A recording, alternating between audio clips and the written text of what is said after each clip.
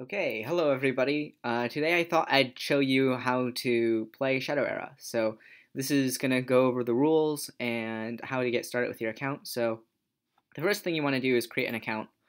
Um, I'm just going to go with a guest account uh, just to show you how to do it. Make a password, uh, whatever that is, and just click, click uh, play. So you're going to get a choice of hero um, and I would probably recommend starting out with um, probably either Gwen or Boris. Um, just because uh, those will give you a lot of hunter cards and warrior cards. Boris is already pretty strong out of the gate, and so is Gwen. And um, that way you can buy another hunter uh, hero and then just use that hunter hero. So um, if you buy something like one of the rogue cards uh, or one of the rogue heroes um, or the priest heroes, then you'll have less. Um, it will be less easy for you to start building your collection, in my opinion. But uh, you can choose whichever one you want. Um, I'm just gonna go ahead and go with uh, Gwen. So let's choose a name. Um, um,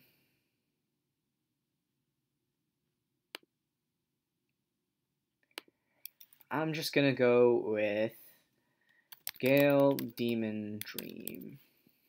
Sure, why not? Okay, um, perfect. So when you log in, apparently uh, you get a free deck. Sweet, that's really nice. Um, so yeah, uh, you also get free booster packs, and all of those are gonna go into your um, your merchant screen. So you're gonna click merchant and you're going to go to the booster pack place and you're going to click on that booster pack. Uh, this times three means you have three booster packs and you just click open and then you're going to get those cards. So we just got 15 cards um, right there. And you do that three times and you're going to get a lot of cards. So this is like really nice. It means that you're going to be able to start building your collection uh, really early on. Um, you also want to go to the pre-constructed decks, and I believe, um, yeah, right here you can open this deck, uh, which is perfect. So now we can play a Moonstalker too. Um, so the next thing you want to do right after you create an account, um, yeah, the next thing you want to do is go to the deck screen and look through your deck. So uh, as Gwen, we got this starter deck. Um, which is not terrible, um, to be honest, for a starter deck. But it's also not the strongest. Um, some of these cards really suck, and you'll want to eventually start taking them out. Uh, actually, uh, this card is banned, so we can't even use it uh, if we want to play ranked. Um, so yeah, let's take out those cards. Um, and we can also play Moonstalker. So yes, if you click this load button here, you can actually see the different decks that you have available. So right now we only have unlocked Gwen and Moonstalker. So those are the only two decks we can use. Um, and so I'm going to go back to the Gwen. Uh, you can press this arrow here to look through your deck, and there's an arrow here, and you just drag cards. So I'm clicking on this card and dragging it out. That's how I removed it. And then I can click on a different card and put it in. Uh, you need 40 cards in order to play a game in ranked. And you just click the save button and then click on the profile. And then it will uh, save the deck. Now you could pay some shadow crystals. So that's this premium currency um, right here. And that way you can get another slave slot. The other thing you can do is name your deck. So let's just uh, name it beginner um, I think I spelled beginner wrong.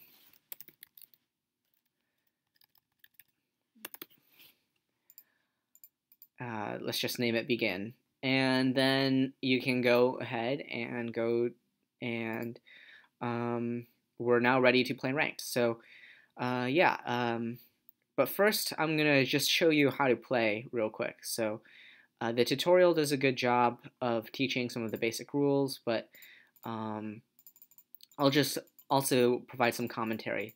Uh, there's some uh, flavor text here. So the idea is um, on the, uh, in the beginning of the game, you're dealt six cards, and uh, the turn sorry, uh, the turn is split up into two phases. The first phase is called the sacrifice phase. So in the sacrifice phase, what you do is you take one of the cards from your hand and you drag it onto your resource pile. You don't have to do that, but I definitely recommend doing that. Then you've got the action phase.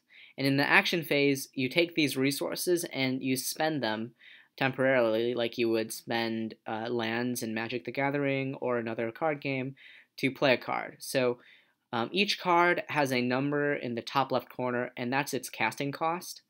And as long as you have that many resources, you can play that card. So I can play this card, Puin Bloodhelm, when I have two resources.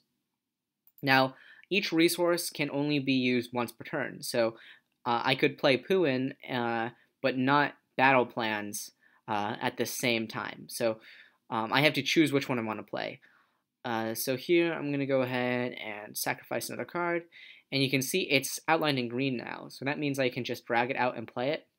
So like I said before, I could also play battle plans. But once I play Puin, now my two resources have been uh, spent. And now I cannot uh, summon any other cards. So I just summoned an ally. Allies are one of the main cards in the game and they just go in this section right here. Um, and the thing about allies is they have an attack and a health value. The attack value is how much damage they deal when they attack, and the health value is how much health they have. Um, damage stays in this game, so if you get damaged, um, uh, like if Corrupted Angel took a damage, then it would have uh, 3 attack and 5 health and that would be a permanent damage that would just have, um, unlike in some other games. But uh, you can also heal and stuff. So, um, but yeah, uh, that's besides the point. Basically, they just have an attack value and a health value, and once per turn, you can attack with an ally. Now, what attacking with an ally is, is it means clicking on the card and dragging it, and you drag it to one of your opponent's allies or their hero. Um, but there's no hero in this tutorial uh, you drag it to one of their allies, and then it goes into combat.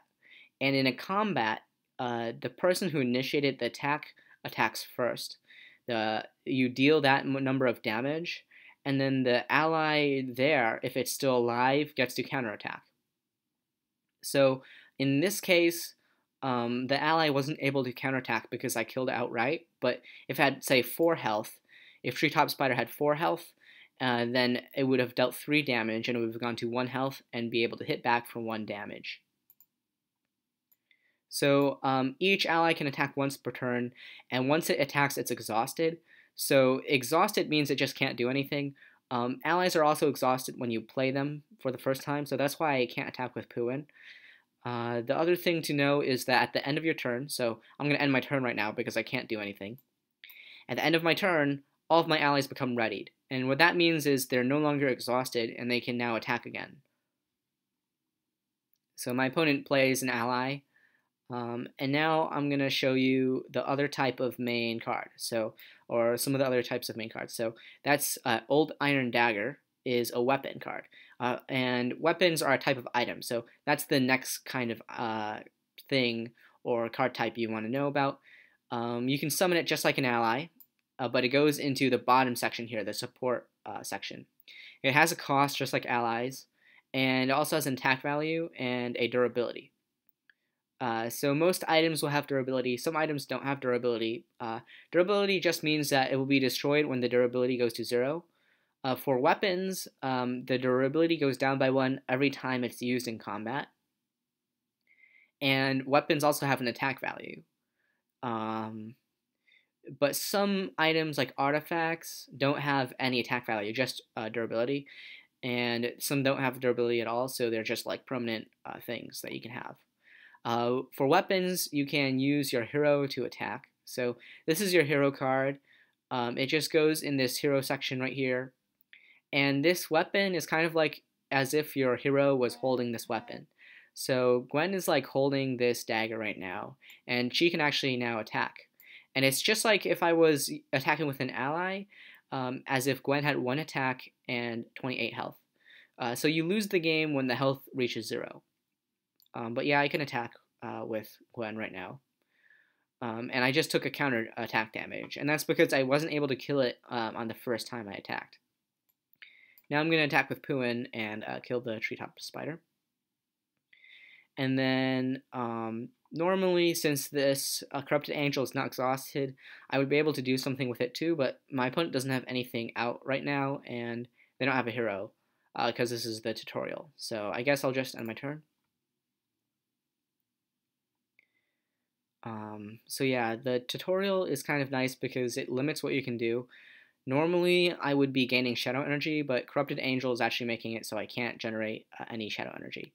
So uh, unfortunately, I don't get to show you that. But um, yeah, so now I just have four cards in my hand, and uh, one of the things I can do is I can just choose not to sacrifice a card for my resource phase. So I'm just going to do that and press skip here. Uh, now there's one more card type that you probably should know, and that's abilities. Abilities can be attachments or one-time use things. Uh, this one's a one-time use ability. So I drag it and target the treetop um, snake and a forest serpent, and then it uh, takes two fire damage and is set ablaze. So um, abilities have a cost and they do something. Um, and sometimes you can target your own ally uh, if it's an attachment or something, and it can be like a good thing. Uh, so that's all abilities are. Uh, and now I can attack again with all of my allies.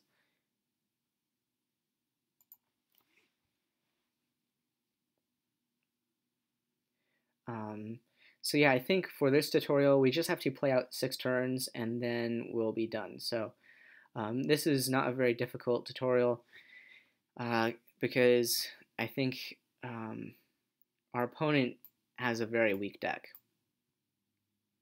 So I'm just going to go ahead and kill these treetop spiders.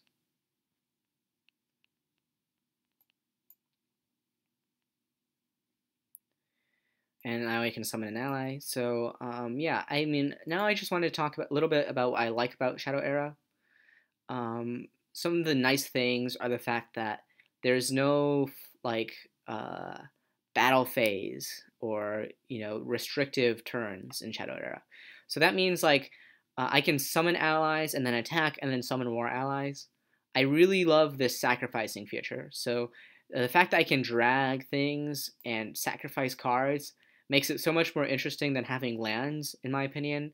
Like if you want to do a comparison to Magic the Gathering, and that's because in Magic, uh, like you have a specific land card, and those land cards never change. Whereas in Shadow Era, any card can be a resource, and this creates a lot of strategic tension because you kind of have to decide, oh, do I need this card?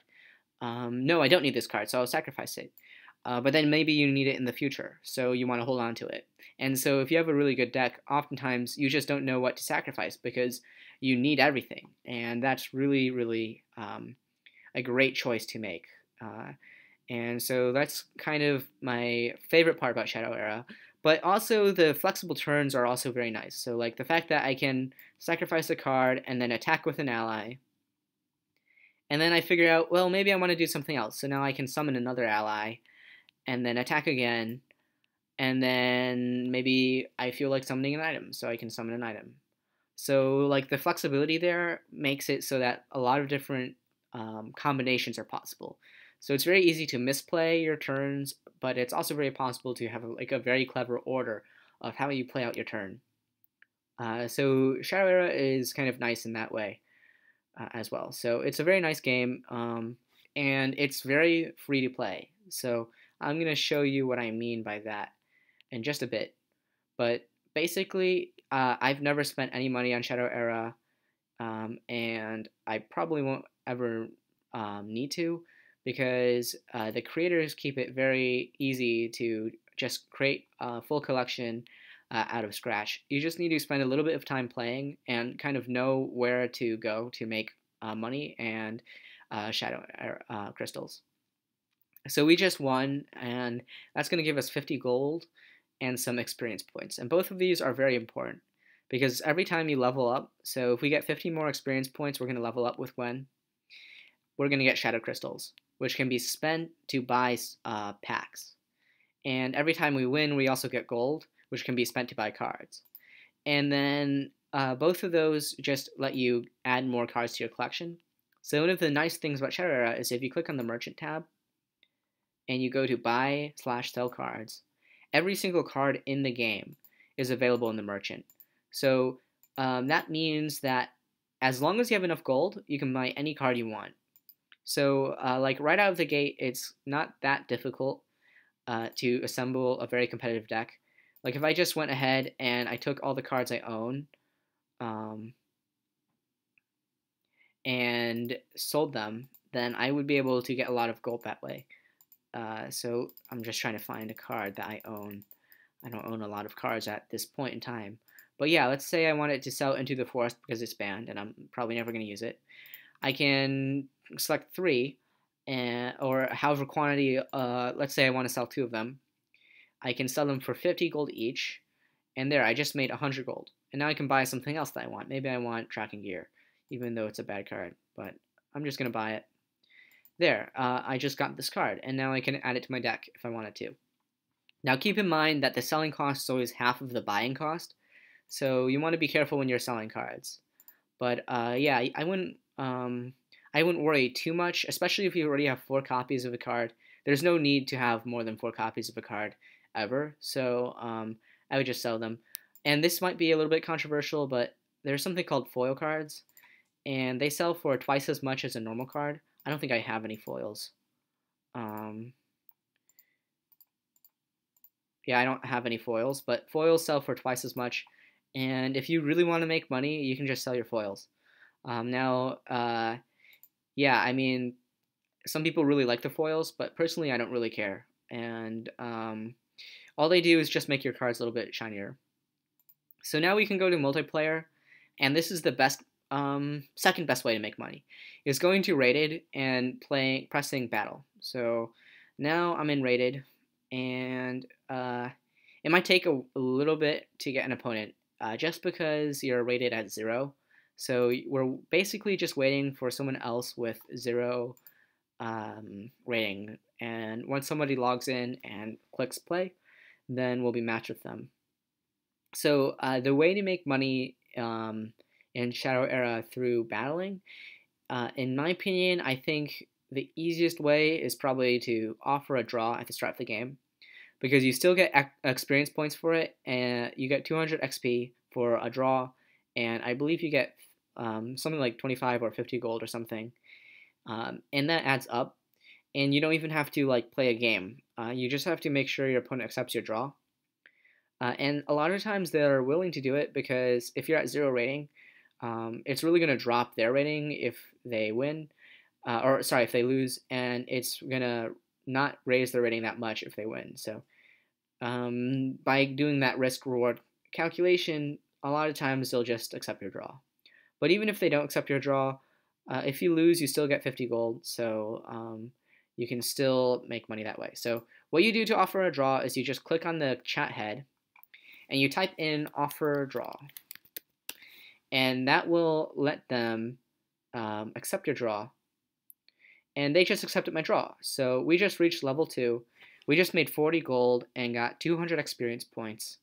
And yeah, that was really good because we just got, I think, 15 shadow crystals for that. Yeah, now we have 25 shadow crystals. And all we're trying to do is get to 100 shadow crystals. And once we get to 100 shadow crystals, then we can go ahead and buy this pack. So this pack right here is the campaign pack. This is your best value for money. And the reason why is because sometimes you can get a legendary card uh, from this pack. And selling it is like, I think it's 1600 gold. So uh, you get a lot of gold through selling those rare cards. And every pack, even if you don't get a legendary, is about 2000 gold. So um, I would keep that ratio in mind. About 100 Shadow Crystals to about 2,000 guaranteed gold, maybe a little bit more if you pull a good card.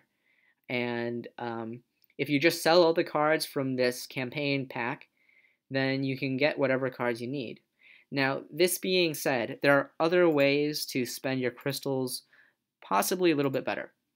And I'm going to show you that right now. So if you go to this deck selection screen and you click on a deck you want, like Tainted Magic, this is an amazing deck for a beginner, I would recommend every beginner try and buy this deck. It costs 275 crystals, which is a lot of crystals, but it gives you a very competitive deck. You don't even have to do anything. You just have to buy it, and you have a deck that can probably win um, at a pretty high rate on ranked. So if you just buy this deck, you get all those cards, and it's definitely worth it because buying cards is twice as expensive as selling, um, or yeah, as buying the yeah, like if you sold all these cards, you would get half the value of the cards themselves. So basically, you want to be buying decks rather than buying cards from the pack and then selling them for gold. So I would buy any of these decks um, Tainted Magic, Deepwood Trapper, uh, Enduring Devotion a little bit less because this deck has fallen out of the meta. Um, Deadly Dealings is a good one uh, Midnight Feast, and uh, Exalted Onslaught. All these decks are very, very good and pretty competitive. The other decks are not very competitive, uh, but they can still have some good cards. Like this Bloodfang deck is pretty uh, mediocre, but it comes with a lot of cards. You get like, I think 50 or 60 cards just from this deck. 60 cards. Uh, just for uh, 300 Shadow Crystals. So technically it's better value, but these cards are a little bit worse. They don't really work as well together as they do in these premium decks here. So I would definitely go for these decks if you can save up enough Shadow Crystals. And I would go for these booster packs, the campaign booster pack, if you want gold. Now, um, so yeah, you might be thinking, well, wait a second, we only have 25 Shadow Crystals? This is going to take forever to get to 275 Shadow Crystals. Uh, especially as your hero right now, we only have 150 XP, and we need 300 XP to level up. So that kind of brings me to the next way to make um, Shadow Crystals. Uh, but first, let's see what we get for our daily reward. Um, so every day you can collect a box now, the you uh, the way the box appears is if you've already completed one uh, level of a campaign mission. So you need to make sure to do that, and then you can collect the box. Uh, and if you're on mobile, you can also get five shadow crystals every day by watching an ad, uh, and that's probably the best, um, one of the best ways to get shadow crystals. Um, but watching ads is kind of boring, so uh, and you only can do it on mobile, so it's a little bit restrictive. If you're not on mobile, then that's fine. You can still make shadow crystals by going to ranked. Uh, but I'm going to show you one more trick uh, to just build up shadow crystals really quickly. So all we're going to do is we're going to go to buy and sell cards. And we're going to go ahead and buy a hero that is also a hunter hero and a human. So every card, uh, every hero has a class. So this is hunter class. And they also have a alignment. This is a human alignment hero. So it's a human hunter, and our starter hero is Gwen, and Gwen is also a human hunter. So we want to buy that card. Great, we just brought Victor. So now we're going to go back to the deck. And all we're going to do is go to Filter and click Show Unusable. And then we're going to drag Victor over here. And we're just going to click Save. And right there, bam, we have another hero that we can use. So now we've got three heroes and that was really easy. It just costed 200 gold, and now we've got one more hero to go to ranked. And why is this good? So let's go back to campaign. Now Victor has 0 XP, and we only need 100 XP to level him up. So we could go to multiplayer and find someone who is willing to draw with us. And that would just give us 15 shadow crystals. And like if you go back to the deck screen, there's a ton of heroes. Like this is what 5 times 6, so 32 heroes. 32 times 15 shadow crystals um, is going to be like 450, uh, more than 400 shadow uh, crystals. So just by doing this and only leveling up your heroes to level 2, you've already got enough shadow crystals to buy the best deck um, or a really good deck from the merchant. Um, and yeah, I mean, like, if you want to level up your heroes to level 3, then you get a whole new batch of Shadow Crystals. So yeah, that's a really, really good way to make Shadow Crystals. Now, the best way, in my opinion, the best way to make uh, Shadow Crystals is probably by going to Meltdown and clicking this Meltdown button here and playing Meltdown. Now, I'll probably do and cover Meltdown more in depth in another video, but the reason why is because if you're just starting, you're probably going to lose most of your matches in unrated, or sorry, in rated, and that's because everybody else probably has a better deck than you. So, um, yeah, I would recommend if you're starting out, just offer a draw as soon as you open up in a game, and just try to get as many draws as possible because that way you can just start building money. And a lot of players are going to accept your draw because they don't want to face off against someone who's rated zero. So um, I would highly recommend just building up your collection that way and leveling up your heroes uh, doing that rather than trying to win with a beginner deck, which is very unlikely.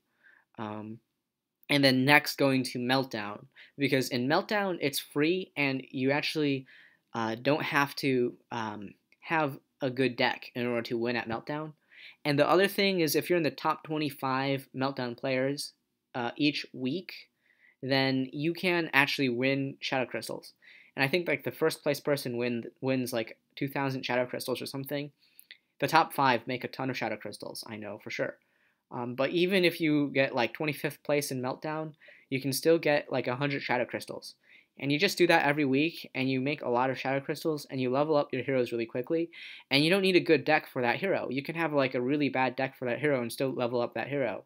So that's why it doesn't really matter what these cards are, even. Like, this Victor deck is probably terrible, um, but it doesn't even matter because you can still level him up uh, without even ever playing a game with this deck. Then, once you build enough shadow crystals to say 275, then you can go ahead and buy that deck I showed you in the merchant. And in that deck, uh, like let's say I would actually probably recommend Tainted Magic because you can just copy paste it to any mage and it will still run very well. So I would buy Tainted Magic and then you can start winning games in ranked. And once you start winning games in ranked, you're on your way to becoming um, a, a very good Shadow Era player. So yeah. Hopefully this video kind of helped. It's just a basic introduction, but um, hopefully that helped you a little bit get used to Shadow Era and how to make money and make a deck. Alright, thanks for watching.